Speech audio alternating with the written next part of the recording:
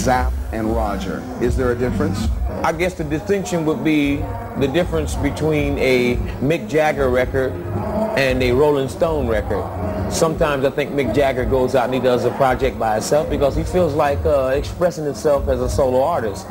And uh, I don't know, it was just uh, something I wanted to do to uh, to assure my fans that they could get two records a year. Uh, record companies won't let you uh, put one record out, and I decided I would get try to uh, be signed uh, both ways as a producer of Zapp and a producer of the Roger record. And uh, I had no idea that More Bounce, which was the first Zapp record, would do so great. great. And at the same time, I had no idea that Heard It Through the Grapevine, which was uh, the second record I produced, and my first solo record. I had no idea that uh, these records would be number one, but wow, what can I say? It was like a dream come true. Were you surprised by the success of Unlimited and I Want to Be Your Man? Totally surprised. I worked harder on that record than I did any record at all because I had done so many records before and I was really afraid, you know, to just remain a dance, zany funketeer. I wanted to reach out uh, and try to grow with my fans and I felt that doing a song like I Want to Be Your Man would, now you're not going to like this, but it would, t- I, I felt like I could reach out and say to the ladies, that yes indeed ladies sometimes we the men are not willing to commit so quickly. And there's really nothing wrong with committing that. All the ladies want is for you to say that you will be with them. So I decided I would do a song like I want to be a man to show all other guys that it's okay to be a little weak for the ladies. Because when you think about it don't you love it when a lady says take me I'm yours well don't you oh yes so why can't we express that back to the ladies so I wanted to try to, you know, select songs like that. And basically, that's what I did with every song, even Night and Day. Every song on the album is basically a love song. Plus, I was having some trouble with a lady that I really wanted. So she wouldn't listen to me because I did it wrong so long. So I wrote some songs. Did it help? Did you get it back? No. but, but, I, uh, I had a successful record and it introduced me to a lot more ladies and more money.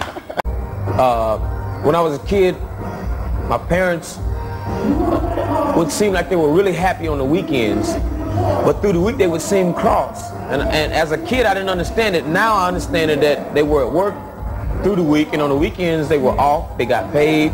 They had something to drink, and they had their favorite songs. And I thought on the weekend that my parents were happy because of the music, and they always listened to blues and, and uh, black music that had a lot of bass in it.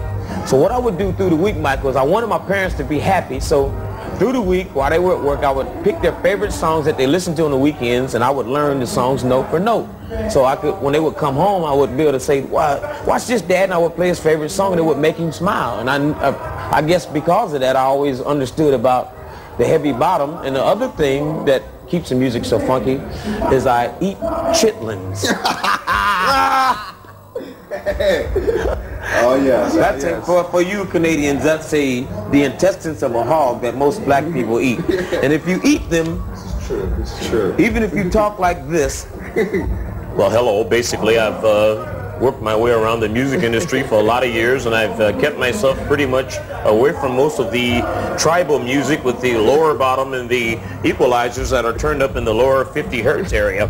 And basically, you know, so if you eat some chitlins, you instantly go into, well, I, yo, hit me, uh, crop, see, kakagoo. so, you know, sometimes even when I started making a lot of money, I, I would find myself slipping back to this person, you know. Mm-hmm. My hair would go back and I would say, well, listen, I'm not certain if I should sing this kind of music or not. And chitlins would get me right back into the right situation, you see.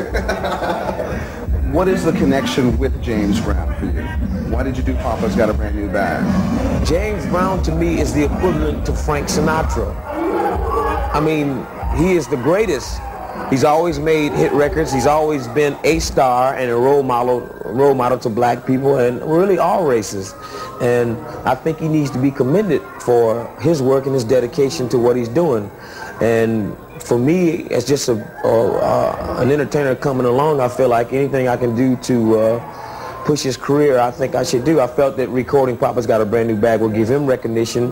Naturally, all of the uh, rights and royalties for the record goes to James Brown, and uh, it's, a, it's like a gift to him if he's having any trouble. And I just feel like it's necessary. And he's just great. What's the video like? Uh, the video is basically silly. I'm being very, very, very silly. I start with a taxi cab scene where I'm taking a lot of girls out of the taxi cab, and then I go from a taxi cab driver to this suave, neat guy with a brand new bag, making the ladies fall for me and loving me and yum, yum, yum.